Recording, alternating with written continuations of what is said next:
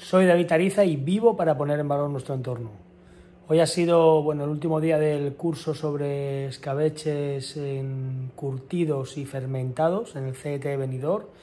Y bueno, ante todo dar las gracias, al CET Benidorm por, por seguir apostando por, por, una formación tanto gratuita como de, de calidad, ¿no? Seguir apostando por, por formadores y por personas que, que creemos que la formación tiene que, que creemos que en la formación tiene que haber una transmisión y tiene que haber un, aprendizaje importante por parte del alumno. Recordemos como formadores eh, nuestra responsabilidad es transmitir, transmitir y generar las condiciones adecuadas para que el alumno aprenda, para que el alumno crezca, para que el alumno se involucre y para que el alumno pues, se comprometa con, el, trabajo del aprendizaje. Eh, ha sido un curso súper interesante porque partiendo de, un nivel muy heterogéneo, gente que venía de restauración, gente que no había tocado nunca la restauración, era un curso ocupacional, o sea, para gente que en este momento no está trabajando, pues al final eh, colgaré, colgaré en breve los, resultados del curso y los platos que han elaborado el último día los alumnos y, veréis que, que el nivel ha sido un nivel nivel alto, ¿no? Hemos hecho un recorrido por todo lo que serían los, los escabeches en todos sus tipos, formas, carnes, pescados, verduras, legumbres.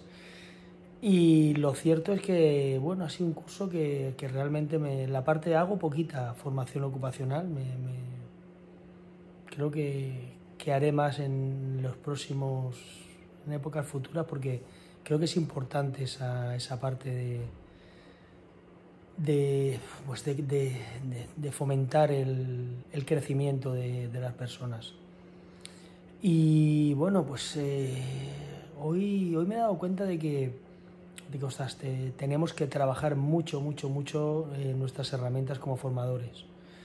Llevo comentando ya algunos vídeos, en breve lanzaré la primera edición del programa de alto rendimiento para profesores y, creo que es importantísimo que trabajemos esas herramientas, ¿no?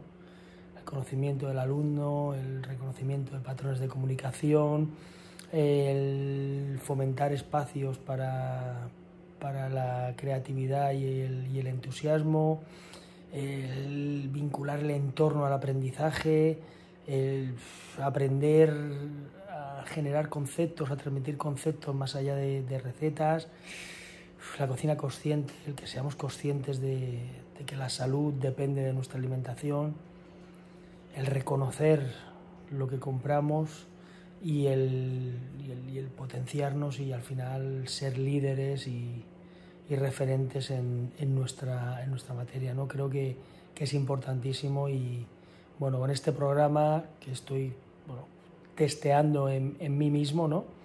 Porque estoy haciendo clases de mi hermano, estoy estudiando, estoy preparándome, estoy preparando los módulos con los diferentes formadores y estoy testeando todo, todo lo que vamos a dar en, mi propia persona, pues creo que, que daremos respuesta a uno de los grandes problemas que tenemos ahora mismo en la formación, ¿no? Que el formador sea capaz de transmitir y transmitir correctamente esos conocimientos. Soy David Ariza y vivo para poner en valor nuestro entorno.